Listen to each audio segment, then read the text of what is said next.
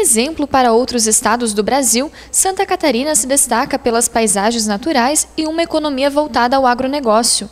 Do oeste ao sul do estado, as serras e parques eólicos dividem espaço com as principais culturas econômicas da região. É com base na agricultura familiar que os 13 municípios que integram o Vale do Braço do Norte, no sul do estado, se destacam por ser berço das principais atividades da pecuária catarinense. Considerado o Vale Catarinense da produção de gado Jersey, Braço do Norte, no sul do estado, cediu um dos mais importantes eventos do setor, a décima edição da FEAGRO. O evento, considerado o maior do país, é também o segundo da América Latina em exposição de animais. Ela é uma feira realmente voltada ao agronegócio, ao nosso produtor rural. Claro que são várias atrações, mas especificamente ela é uma feira de negócios, é uma feira de trazer conhecimentos para o nosso produtor rural, trazer tecnologias. De ano a ano vai crescendo, a, a FEAGRO vai crescendo, vai, vai aumentando tanto os expositores quanto o gado, né? O gado Jersey aqui está sendo das maiores feiras da América Latina, né? A feira movimentou mais de 18 milhões em negócios e recebeu mais de 60 mil visitantes durante os quatro dias do evento. O grande destaque foi para a exposição de suínos. Quatro granjas de material genético mostraram o potencial do setor que tenta superar os efeitos da crise.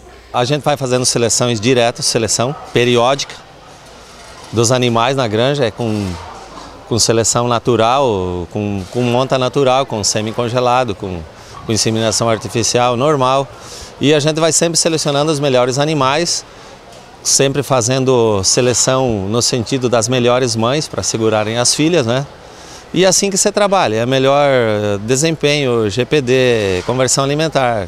E a gente trabalha em cima disso. É um momento importante realmente estarmos presentes, mostrando o agronegócio, a pujança que tem aqui no sul do estado, em todo o agronegócio realmente, não somente na suinocultura, mas em, no gado Jersey, que é realmente a capital catarinense, como foi aprovado pela Assembleia Legislativa, e também para o Senado Federal nós estamos aguardando para que seja colocado capital nacional. E a suinocultura ela tem grande relevância aqui no nosso uh, sul do estado, quanto a produtores independentes e frigoríficos que fazem o abate ou processamento de carne suína. E estarmos aqui com suínos para fazermos o leilão faz toda a diferença. Uma nova realidade para a atividade, acreditando realmente que o mercado vai ser promissor e trazendo um ânimo para os produtores. Paralelo à décima edição da FEAGRO, a segunda edição do leilão de suínos marcou um momento importante para a suinocultura. Em 2011 a gente fez o leilão, vendeu 60 animais, todos os animais subiu na baia, no remate foi vendido, vendeu 60 animais, 2012 a gente estava com uma crise muito forte e a gente optou por fazer um manifesto. A gente botou cruzes. Hoje a gente está com 46 animais. A expectativa é de venda. O suíno está começando a dar uma reagida.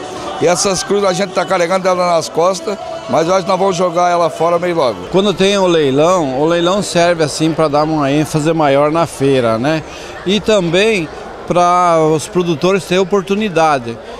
Tem gente que chega aqui com não intenção de adquirir no leilão, mas acaba comprando.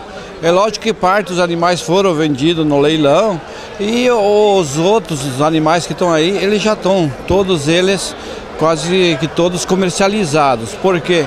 Porque também é um momento de bastante cautela na suinocultura, né? A gente não pode fazer um trabalho ali que vamos aumentar, que alguma coisa diferente está vindo ali na suinocultura para animar nós é um momento de apenas fazer a reposição que você precisa na granja, né? Mas como é o segundo, a segunda edição do leilão, lógico, uma feira do tamanho que é essa que estão fazendo aqui, esse evento importante, sempre vai ter que ter o leilão. Questão de, de qualidade, acreditando que o novo mercado que se abriu para nós aí a esperança de um futuro melhor. Então, acreditando em renovação de plantel, a gente tem que investir. Gado de corte, leiteiro, ovinos e pequenos animais também integraram a exposição. A agropecuária representa 30% do produto interno bruto, PIB de Santa Catarina. O estado se destaca no cenário nacional como a única área livre de febre aftosa sem vacinação, certificada pela Organização Mundial da Saúde Animal. Com a abertura do mercado catarinense para o Japão, a economia do estado deve crescer mais de um bilhão de reais neste ano.